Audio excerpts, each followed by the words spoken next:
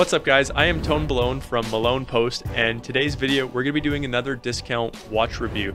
Now this one is another brand, it is called the Arlanch Men's Luxury Magnifying Glass whatever watch um, that we got on AliExpress. Now on there it was only $12, um, which is a really good price this watch is supposed to be replicating what a lot of other companies have tried to replicate the style and design of, and it's a classic Rolex. This Rolex specifically would be the Rolex Submariner in uh, oyster steel or oyster, however you pronounce it, uh, with the green dials and green case and the green bezel as well.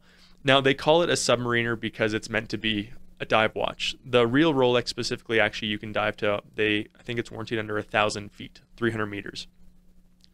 Um, and this one just says water resistant. Now it is only a $12 watch. I wouldn't put it in water um, if you were thinking about it, but it says it does have a little bit of that. So you know who knows, we might try that out. Uh, now, like I said, this one here we got for 12 Canadian. It's AliExpress. It takes a little bit of shipping to get here. That's just part of you know what you have to deal with. It took over a month for it to get to me. However, the real Rolex itself costs over just around $11,000. So, quite a savings. Okay, so first let's talk about some of the you know major differences that you get in a normal Rolex that you don't find on this one. The first major difference is going to be the Rolex logo. Uh, we don't publicly endorse companies that try and directly rip off like a Rolex. Um, so it says Arlanch on it. That's their brand. And that's okay. But that's really the only main difference when you're looking at the inside of the case here. The dials are the exact same. The placement, everything is the same. The only difference is at the bottom on the inside. It doesn't say water resistant, 1,000 meters, or sorry, 1,000 feet, 300 meters. It just says water resistant. The other big change is going to be on the band itself. It's just a normal clasp on the back, you know, normal metal one that you'd get on any basic watch. It doesn't have the Rolex uh, one, which does make sense. And those are going to be the major differences. Now, they actually did get a lot of things right with this that you'd find on a Rolex. So your plug on the side to change the time of it is encased in the side of the case like you would get on a normal Rolex. It does have the bezel which turns on the top, which I will go through, and you do have the little magnifying over top of the date timer as well. Um, now, I do have some other dive watches, and this one is definitely a little stiff. Uh, when you are trying to turn this, it's a little bit hard to turn. You gotta put a little bit of force into it. But when you do turn it, it actually makes like a really satisfying noise. Let's see if we can.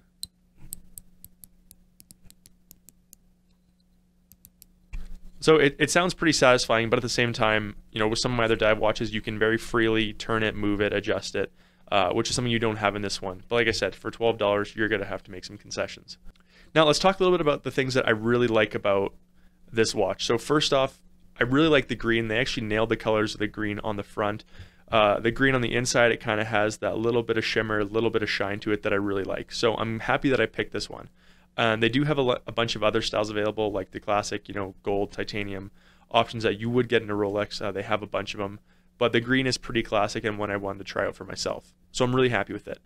The other thing is actually going to be the weight. Now, normally when you go with really cheap, inexpensive watches, you want to stay away from a metal band, and that's because it's really hard to fake metal, um, quality metal, in the same way that you can fake a quality rubber band with some of the other watches we reviewed. All the cheap metal ones we've got have felt like literally nothing in your hand. It feels like a quarter. Uh, but this one, it's actually very heavy. It feels like some of my fossil watches and some of my other watches that are metal that are a little bit more expensive, you know, that 150 to $200 range. So the band's actually not terrible quality. However, with the band, the only place where it starts to show that it's, you know, lack of quality, I guess, would be where it attaches on the inside of the case here. There's a lot of play here side to side on both sides. But in the linkages itself, there's not a lot of play, which is really nice. Just on this connection point, you know, there's a little bit of back and forth movement in there. You can hear. But aside from that, you don't really hear it when you're walking down the hallway. Other watches that are really cheap, when you're walking down the hallway, people can hear you coming. They hear that clang. Uh, but this one's actually really good. And yeah, there's a, a lot of really great things about this watch. This is actually, to be honest, my favorite purchase so far. Now, we do have someone else that has this exact same watch that bought it before me, and they didn't have the same experience. Their band was a lot worse quality. It had a lot more play in it, so I can't guarantee that 100% of them will be as good as this one. All I know is the one that I got here for $12 through AliExpress, link down below, is really good. Now, another thing to mention, guys, before we take off is that if you sign up for our newsletter, whenever we are buying these watches now a tryout, if you sign up for that newsletter, it enters you in to win whatever watch we review that week. So don't forget to sign up for that newsletter. Again, I hope you guys enjoyed today's video. I'm Tone Balone. Thanks for watching.